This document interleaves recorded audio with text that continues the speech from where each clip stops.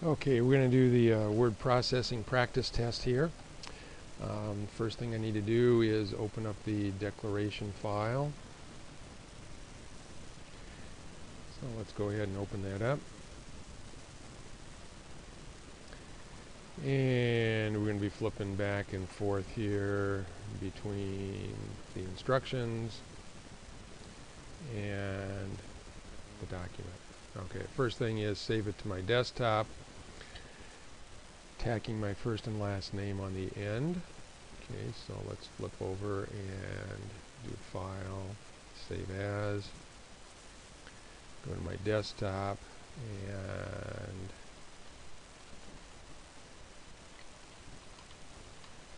tack my name on the end. Okay, we can cross that one off. Um, set the margins to one inch on all four sides and Times New Roman in single space. Okay, so um, margins, one inch on all sides is called normal. Uh, let's do a control A to select the entire document and let's set it to Times New Romans on my recently used list here and what was the line spacing to single space and left align. So control 1 will single space, control L will left align. Now we can go back over here and we can cross off these four things. Set the font size for the entire document to 10 points and move the five pink paragraphs to the beginning. Okay, I still got the whole thing selected here. Let's change it to 10. And let's go to the end and let's see we got some pink paragraphs here. So and we'll do a control X cut them out control home to go to the top of the document and control V to paste them in again.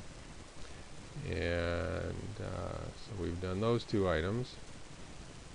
Cross them off. Divide the document into two sections. Uh, find where it says begin section 2 here and do a next page section break. So let's do a control F and we're going to look for section 2 which is right here and to the left of that we want to, in, I'm sorry it's on the page layout and we want to do a next page section break. So now I'm in section 2 down here and up here I'm in section 1. So that takes care of this. And the next instructions apply to section 1 only. Cover page using the conservative style. So control home and we want to insert a cover page using the conservative style. And we're supposed to delete the company, subtitle, and abstract. Now if I actually click on the word company up here, the whole thing turns gray and I can hit delete. If I click on subtitle and then click again, the whole thing turns a darker gray and I can hit delete. And there's an abstract down here at the bottom. I can do the same thing. Click once, click again, delete the whole thing. Okay. So we added a cover page and um, we deleted those parts. And we want to put today's date and we want to change the author to your name. So the author is already my name. You just have to go in here and type over it. Pick the date. Let's go and pick today. And let's go back here and we can cross these two things out. Set the first line indent for all paragraphs in section 1 to 0.25 inches. So let's go down here and let's just select, do a shift page down here to select everything up to the section break. And the first line indent should be a quarter of an inch. Okay. Set the spacing before each paragraph in section 1 to 6 points. While I've still got them selected, I can go to page layout here and spacing before. I want to be 6 points. Okay, can cross those two off. Uh, make the first three paragraphs, I'm sorry, not the first three, the third, fourth, and fifth paragraphs into a bulleted list, and if Word indents it, move it back. So let's go up here, that would be in the pink area paragraph 1, paragraph 2, paragraphs 3, 4, and 5. Make them into a bulleted list, and Word did move them in for me, so I'm going to just grab the basement of the house here and drag everything back. And that takes care of this one. Let's cross that out. Set the line spacing for paragraph 1 to double spaced and add a drop cap. Okay, so let's go to paragraph 1. I'll do a control 2 here to make it double spaced. I want a drop cap. That's on insert, drop cap, and we're supposed to use the dropped style. And because I've got that quarter line indent here, that also gets indented, and I think that actually looks a little plain. It doesn't say to do this in the instructions, but I'm just going to back it up to the left margin. And so we've done those two things. Cross them off. Uh, increase the margins by a half an inch in paragraph 2 and make it justified. So let's go to paragraph 2. And I want to increase the margins by half an inch. Move that one in half an inch and move this one in half an inch and I want it to be justified, so I'm going to do Control J to justify.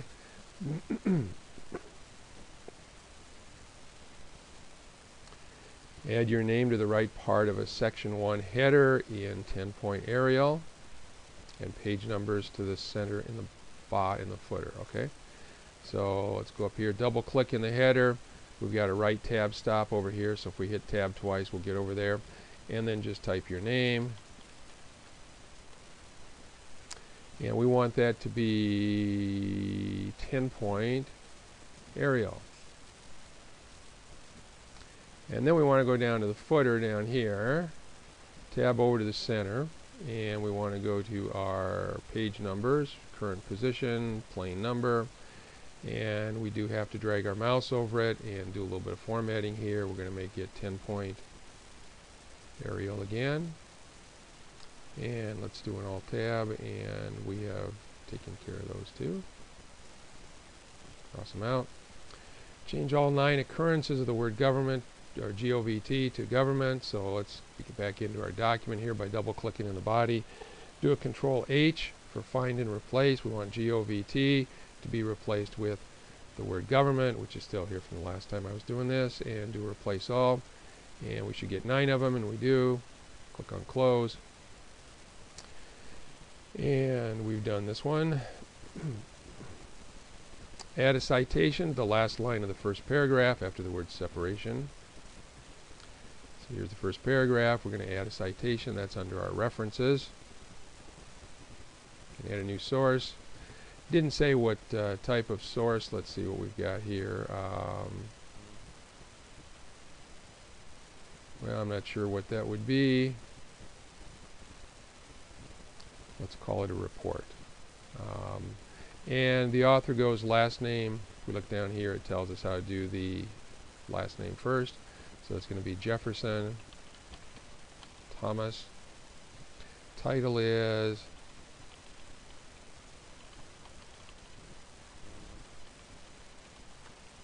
year is 1776. The city is and click on OK. And that takes care of this one. Cross it out. Insert a bibliography at the end of section 1. Choose the works cited type. So let's go to the end of section 1 here. And right there we're going to, um, on our references, we want to um, right here insert bibliography of the works cited type and there we go and go to the bibliography and insert a copyright symbol before the year 1776. So let's go down here and parenthesis C parenthesis will get turned into a copyright symbol.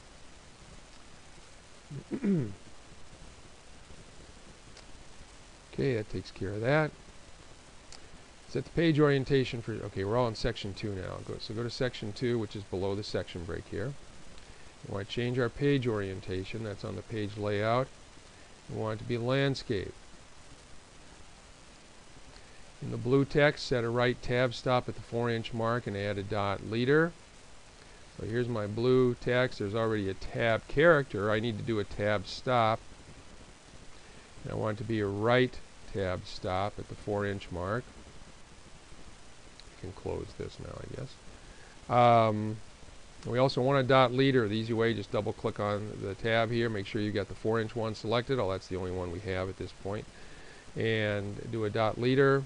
Click on OK, and now we've got the dots. And we have done these three things. And convert the green text into a two-column table. So let's select it first. Make sure you don't accidentally grab another line above or below or uh, Word will get confused. We want to insert a table. We want to convert the text that's there into a table. Um, two columns is right. Click on OK. And we want to make um, the width of everything two inches. Okay.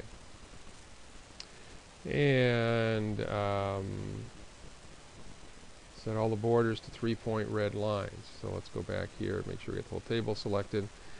And let's go to our borders here. And we want, uh, there's a couple ways to do this here. Um, but we do have to go and change it to red, I think I said. And I want three points. I want all of them. And it did select all them, apply it to the table, click on OK.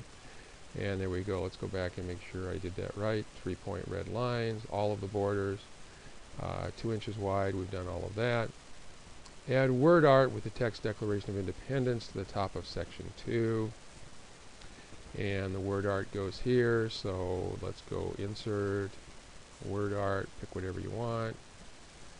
And then type your text.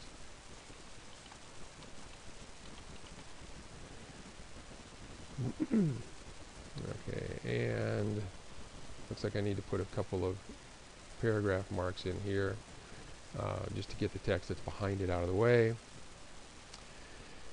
And choose any style and color that you wish. Okay, done that.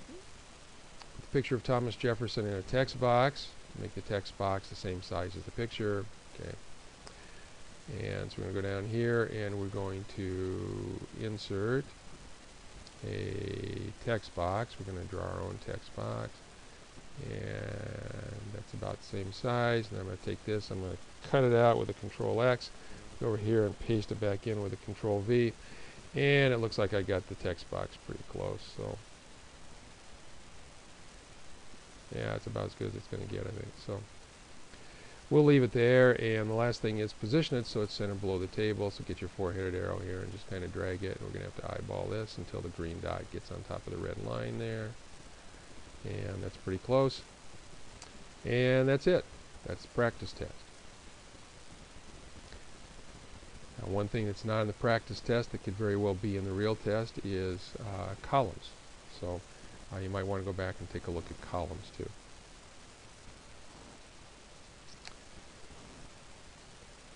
Okay, that's it.